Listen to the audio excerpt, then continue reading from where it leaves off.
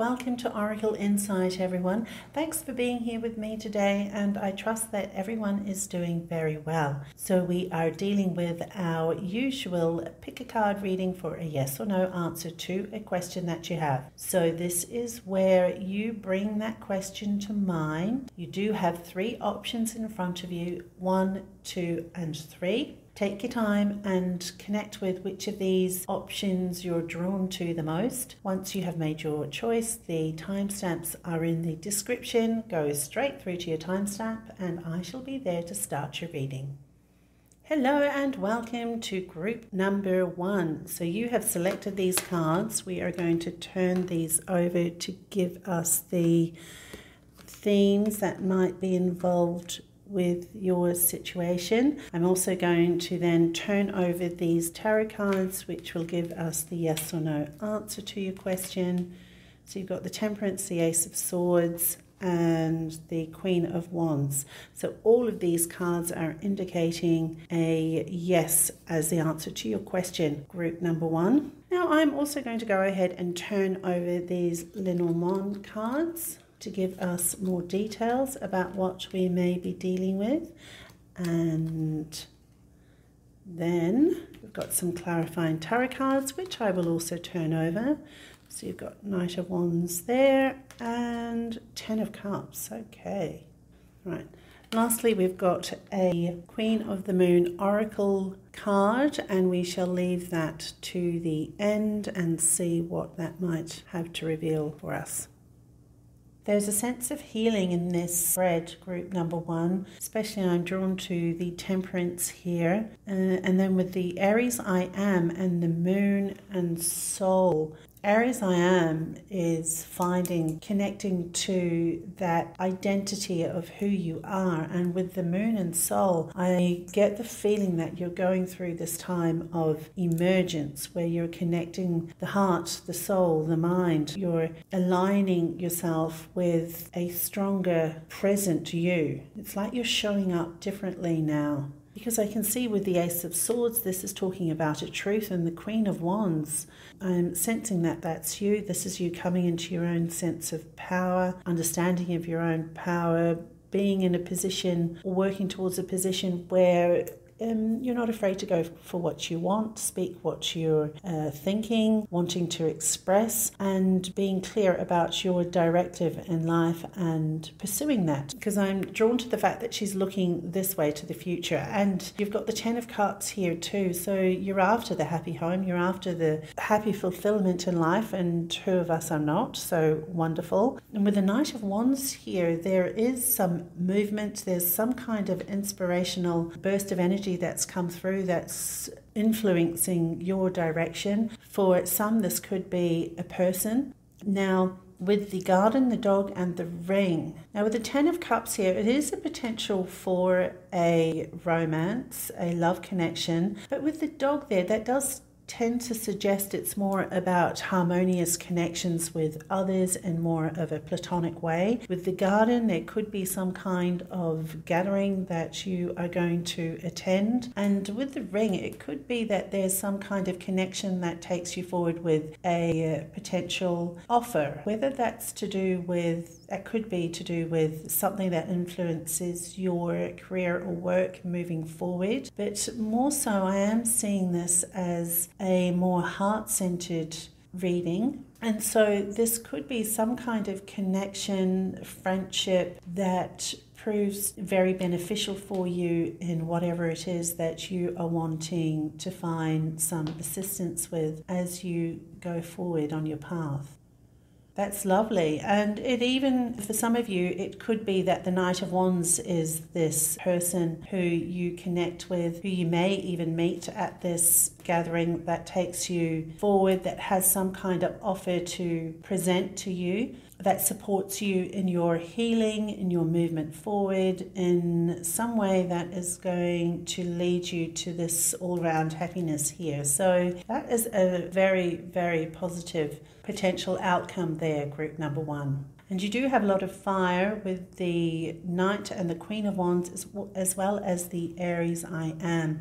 The Moon, Soul, and the Temperance is kind of offering that emotional input. So it's not so brash and overpowering. It's more a balance of, of those energies. So like with the temperance, there's a an alchemizing of those energies to support a truth in where you're going. So that is really fabulous. All right, so, and even with the dog coming under the Ace of Swords there, this could be a presenting with this ring, there could be a presenting of a truth that you needed to hear, or some, yeah, there's some kind of offering of information that is supporting you in your in your movement towards this Ten of Cups energy.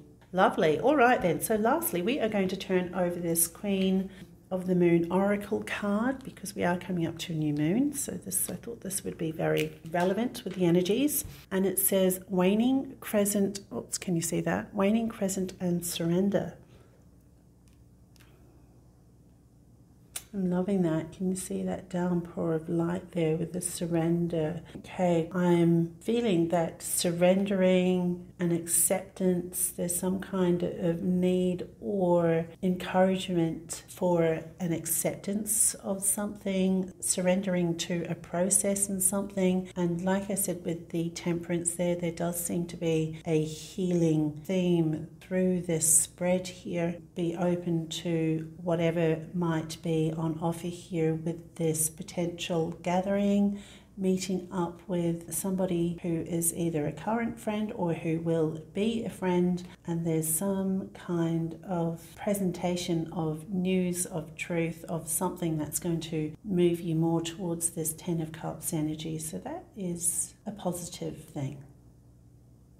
All right, then, so group number one, those are the messages that have come through for you today. I do hope that that has served you in some way. If so, please consider liking, sharing, and subscribing. Take care, and I shall connect with you again very soon. Hello, and welcome to those of you who selected group number two. So, we are going to turn these cards over to give us an indication of some themes that may be in play for you. Now you've got eighth house endings and beginnings and Leo I will. So next up we shall turn over these tarot cards to give us the answer to your yes or no question here. And all of these cards are indicating a yes to me. You've got Ace of Cups, Queen of Swords, and King of Cups. Very strong energies. Nice. Right, so that's a yes group number two. And then we have got some Lenormand cards, so we shall turn these over to give us more details involved here and also some clarifying tarot cards. You've got Knight of Cups and Two of Cups. Wow, lots of cups here. And then lastly, we've got Queen of the Moon Oracle card that we shall just leave till the end. Okay, so group number two, we are looking at some kind of new beginning here, potentially a reckoning of truth. I am drawn into the fact that the letter here, news, is landing right beneath this Queen of Swords, which is a claiming of a truth, a recognizing of information that you can't deny with the eighth house of endings and beginnings. That can be to do with finances, and it can be to do with, uh, given that the Ace of Cups is here, there could be some dealings with the endings and beginnings with a relationship also. I'm looking at that as a potential, even though relationship is normally seventh house, but I'm do getting a sense here, given the court cards are showing up, and with the Two of Cups and the Ace of Cups, we're talking to some kind of an emotional renewal potentially to do with relationship with the two of cups here. Which i see with the leo i will. This is about connecting with your inner child. It's being true to whatever it is that lights you up that activates your heart that allows you to show up in your light and so the Knight of Cups could, along with the Ace of Cups, that really speaks to me about some kind of offering of renewal, whether that's coming from the divine. And the Knight of Cups can potentially be somebody else that's come into the picture that might be offering you a new beginning in love That's also possible here. I see that the birch rod, which is a card of conflict and disruption. So it could be that whatever truth that comes to light here with this letter, this message, then it could actually lead to some kind of disruption here, which then connects with the eighth house endings and beginnings here, group number two. But I love that the anchor is here. The anchor is about stability. It's about um, finding your place, being secure. This connected to this truth of the Queen of Swords and this emotional um, intelligence that is reflected here with the King of Cups. You're in good stead regardless. But the key to dealing with this disruptive energy here with this birch rod is this emotional intelligence, having that center, um, not allowing yourself to be swayed by the external happenings, finding that inner calm is going to be very important in dealing with whatever issue might be revealed here with the birch rod the disruptions that you're experiencing and whether it does come from some kind of message that you receive. Okay? But with all the cups on the table, it does point to me to be something more emotional um, and heart centered as opposed to something financial that you might find normally within the eighth house some of you, this could point to a love relationship, given the feminine and the masculine on the table there, but not necessarily. This could still be a friendship, but there's a lot of heart involved in this. So, just looking at the Leo there. So, yeah, the friendship is a possibility, but looking at it, it does seem like more of a romantic feel within these cards, group number two. Okay, so why don't we go ahead and turn over this Queen of the Moon Oracle deck and what does this say? It says Hot Moon and Extremes. All right, so then that's kind of a extreme clarifier there. This is very much to do with a love relationship, then, I believe. And so, um, the key to going through or dealing with the extremes here, any disruptions that might come on board with a truth that is revealed, um, it's about accepting a truth. It's about holding your center in that with the King of Cups, staying present, staying calm, being aware that if there are any endings to be had in this situation, there are new beginnings on offer too. Because with an ending, a new beginning is on offer. And I love the fact that the Knight of Cups is coming here with, and that could potentially be somebody who is coming in offering you a new beginning.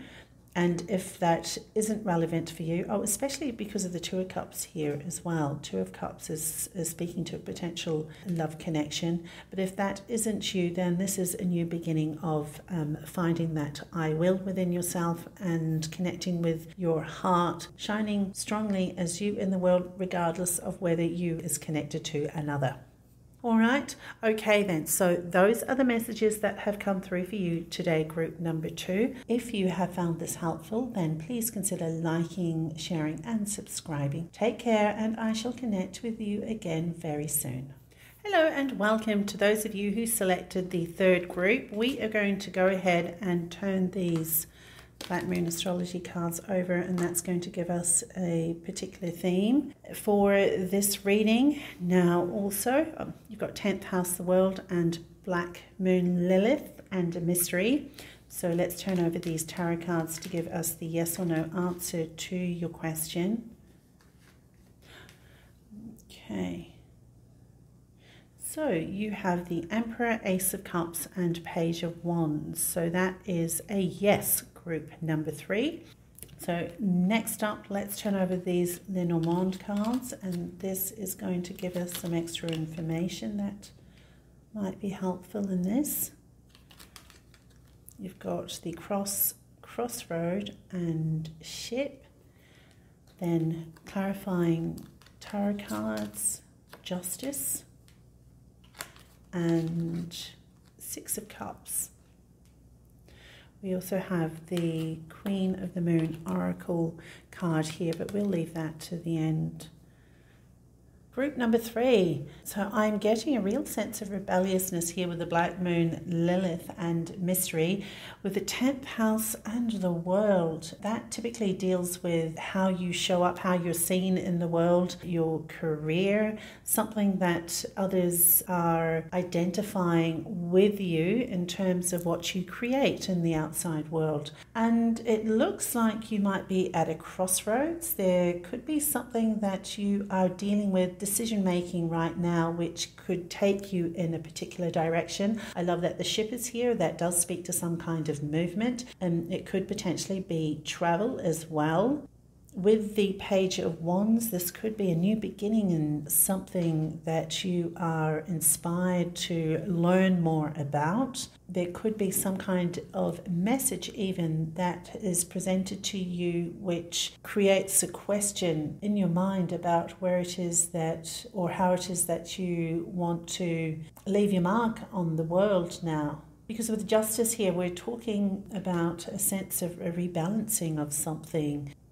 maybe previously you have had a career that has fulfilled certain aspects of what it is that you want, and now you're moving towards something that is a little more daring with this Black Moon Lilith, but it is more in line with um, your sense of you, I suppose, because with this Six of Cups, I'm thinking about childhood, how you would have been, how you would have seen yourself in childhood.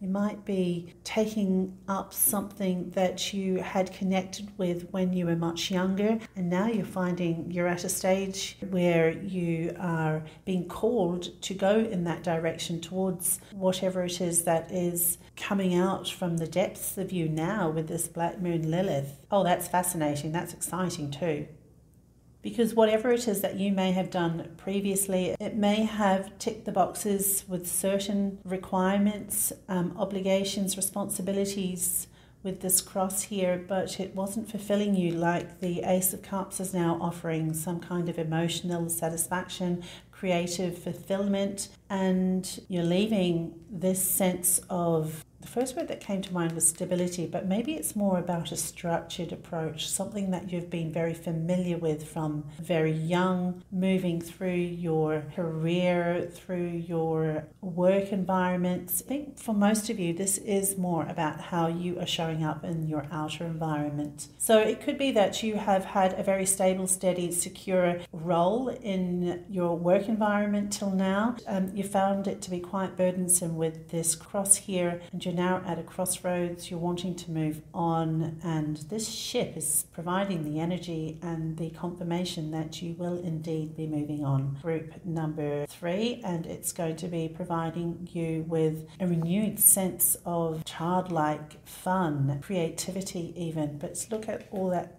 look at all that growth with the flowers there and just that abundance of life and life force and happiness and carefree. There's certainly a sense of childlike appreciation of what it is that they are engaging in right now, and I think that's where you're wanting to head towards. And the justice, like I said, is offering the sense of balance. It's a rebalancing of the scales now. You've been very much in one way, and now you're indeed moving towards another. It's that time for you, group number three. Wow. Okay, let's see what this Queen of the Moon Oracle card is showing. And look at that. It says waxing crescent and growth and it's a number five, so there's change in the number five also. But um, you are in a stage and a period of growth, group number three, and it's taking you from where you have been, what you've been used to, something steady, predictable, into something that is much more creative, potentially something that you've kept hidden for a long time. So, congratulations to you, group number three, in rediscovering something that is lighting you up again, giving you that childlike enthusiasm in life now. So, all the best as you move towards that. So, those are your messages, group number three. I hope that has provided you with some value. If you have found that so, then please consider liking, sharing, and subscribing. Take care, and I shall connect with you again very soon.